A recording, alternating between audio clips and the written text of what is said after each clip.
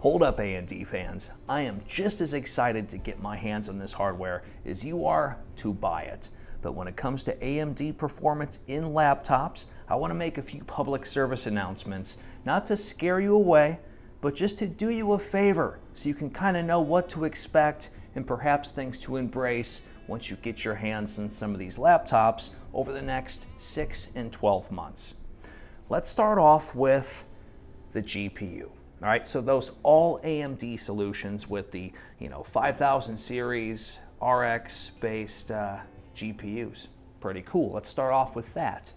Now, it's no secret, or maybe it is to you, AMD drivers for the GPU, they're just not as reliable and consistent as NVIDIA solutions. Now, here's something that most of you probably do not know but I build desktop computers as a side side job. As a matter of fact, I had a client that just took delivery on a Ryzen APU desktop build that they're going to use uh, at their police department for all of it's going to be in their evidence room, right? They just took delivery on that a couple of days ago. So I'm very well up to date and I build machines. I have over 200 of them built just since 2011 alone. And I haven't built one with an Intel CPU in it for probably two years, so go AMD in that regard, but it's mainly due to the security vulnerabilities than it is anything else.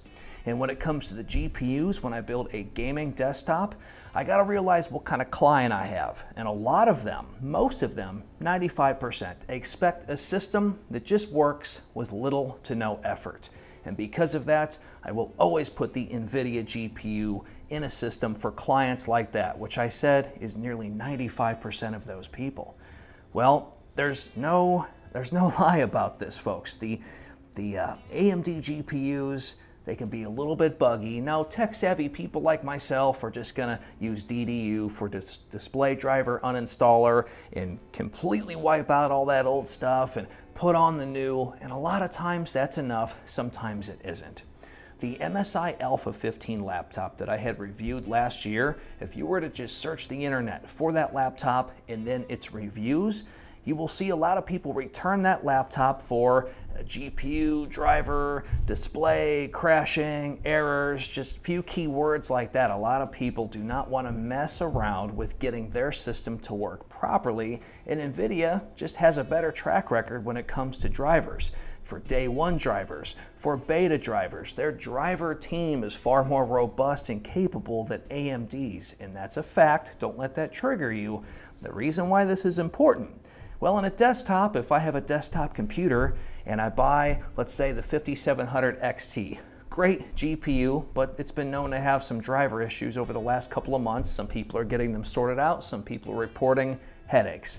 A lot of those people will take that GPU back and exchange it for Green Team and just go with the RTX 2070 when you have a desktop, all right, that's not a big deal. You're just going to swap out one component. Well, when you buy a laptop and you're dealing with this, well, guess what? You're just going to return the whole entire laptop, and that really sucks for the manufacturers. So everybody that's making these laptops with these AMD parts inside, they're probably a little bit nervous about this because they're going to lack some of that NVIDIA reliability. Again, don't let that trigger you, folks. This is just a fact across a wide range of people that don't want to tinker around with their devices, right?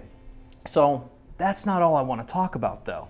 We don't have the tools on laptops, on mobile, to get in there and start doing some undervolting, let's say for the GPU. The MSI voltage curve editor is for Pascal and newer NVIDIA GPUs.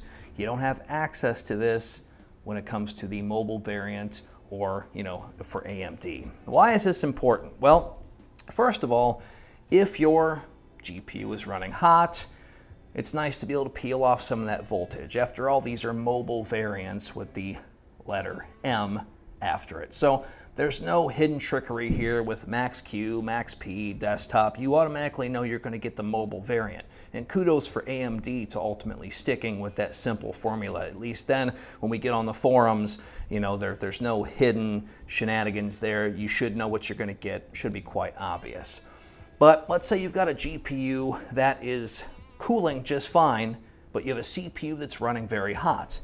And I tell people that, look, if you've done everything you could to that CPU to get it to run cool and it's not doing it, undervolt the GPU. And they say, well, Bob, my GPU is running just fine. I understand that, but oftentimes it's still getting excessive voltage more than it needs. And since this is a shared heatsink, if you can pull off some of that heat from an already cool running GPU that's already pulling more watts than the CPU is, you would be surprised at just how well doing this on an already cool CPU, pulling off some of that voltage, is going to help the thermal performance of the CPU. And those that try it come back and say, wow, I was shocked, but it worked. I was able to lower my CPU temps by 7 degrees Celsius just by undervolting the GPU. Yeah, exactly. That's what I've been saying. It does work, and that's why I have a lot of these tutorials on there, all in the name of just keeping the CPU cool. Thanks, Intel, for CPUs hotter than Satan's balls. Now, I bring this all to your attention here, just on the GPU side alone, because we're not going to get the tools to be able to do that and especially not so right away. So we're going to be stuck at the mercy of one, the driver performance and consistency, and two, hopefully the thermal efficiency of those mobile variants to start with. But with that said, let's segue into the AMD CPUs. The 7 nanometer looking good. I was pretty happy with the 3750H and its 4-core 8 threads. And I scoured the internet for many reviews that featured that laptop without liquid metal. And it seemed to run obviously a little bit warmer than mine that did have liquid metal from HID Evolution. Duh, that's a no-brainer. And it was still getting pretty close to thermal throttling, not a big deal. But as we move down to 7 nanometer, well, you would think, well, this should be a little bit cooler, right? Not necessarily. They're just going to cram a lot more in there. Now we're going to get six and eight cores. That means thermal performance is still probably going to be quite warm. Maybe not a big deal until you factor in that the Intel's Extreme Tuning utility is not going to be compatible. That is an Intel-based piece of software. And throttle stop, there's not going to be a remade throttle stop for AMD CPUs. And this has been verified. I've already talked to the creator of throttle stop just a month ago, and he said, Bob, I'm sorry, I just can't do it. I would have to start with a clean slate from the bottom up, and this is all free software as a passion project. And it's just not going to happen. It would take a lot of work, and this individual gets nothing for it. And you got to understand that that is unfortunately the truth. A lot of this great software that we have, especially with Throttle Stop, well, we get to download it for free and use it and love it and complain about it, but there was a lot of blood, sweat, and tears that went into this, a lot of time for us to be able to use it for free.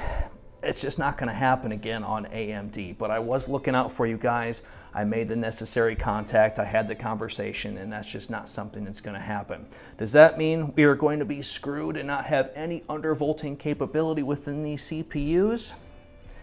I'll, i want to be optimistic and say no, perhaps somebody's going to come along and be our savior, but realistically, it's probably not going to happen. So we are going to be at the mercy of the thermal paste, the fan control, the thermal efficiency of the laptop, are these going to be as hot as Intel? Probably not, but still 6 and 8 core, 7 nanometer, 4000 series AMD APUs inside of laptops is not exactly going to run cool as a cucumber. Let's not fool ourselves. And the issue now becomes, as you can clearly see now, when it comes to the GPU and the CPU for AMD, we really are at the mercy of what the system is capable of, what AMD's, you know, driver team is capable of on the GPU. We don't really have the option to take matters into our own hands. Oh, we don't like the GPU? Well, let's just swap it out. No, that means we're going to have to go with a different laptop, right? And that kind of sucks. What about the CPU? Well, let's just undervolt it. We, we really can't. There is some tunability from what I was recently told with some software, but it only works on Linux right now, so that's not helpful at all. So let's just hope these things work really great out of the gate, and that's going to be fun for me to test. As a matter of fact, it's going to be pretty easy for me to test since there's no undervolting or tweaking or tuning that I can really do. And one other thing I want to add, when you're looking at wattage, the wattage being pulled and the thermal throttle limits and the temperatures, these really don't translate to what Intel's doing. It's a different architecture. They use different sensors placed at different points. Uh, T-junction or you know the maximum thermal throttle limitation on Intel chips is usually somewhere around 100 degrees to 105 degrees Celsius. On AMD, it tends to be much lower, but how AMD reads what they're getting thermally and the wattage that's being pulled is not always accurate, and that's not necessarily a bug with Ryzen. This has been going back across many of their CPUs for several generations, not all of them, but some, and that's something that is an issue on the current Ryzen 3000 series. In fact, I believe Ryzen was doing this since um, the first generation as well on various desktop chips. So that's going to be interesting for me to try to translate that over to the consumer to let them know what's kind of happening as far as the performance metrics go and the thermal performance and the wattage. But at the end of the day, what you see is probably what you're going to get and fan control and the thermal interface materials probably what's going to help dictate the overall thermal performance in laptops. And at the end of the day, that matters the most. That's going to secure the longevity and just the overall fan acoustics and how hot these things get.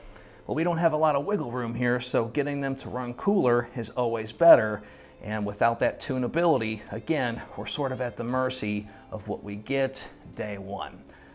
What would I like to see? Any manufacturers watching this video, allow us to change and make tweaks to the TDP and the voltage within your BIOS. And make sure you do it in a way to where people are not going to brick their systems.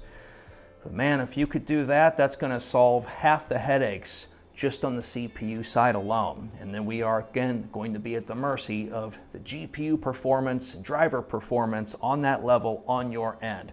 But I think that's something that would put a lot of smile on people's faces and I'm not going to lie, I do think the future for these laptops is looking good, but I also see a lot of people returning them because at the end of the day, if it's running too hot, people are just going to send it back. There's nothing that they are really going to be able to do aside from putting new thermal paste on their machine, and most people are not going to do that. All right, folks, that's going to do it. Not trying to be a Debbie Downer. I'm just trying to give you a nice little public service announcement of the reality of what to expect on AMD hardware in laptops for 2020 and moving forward. That's going to do it. I'm Bob of All Trades, and I'll see you in the next video.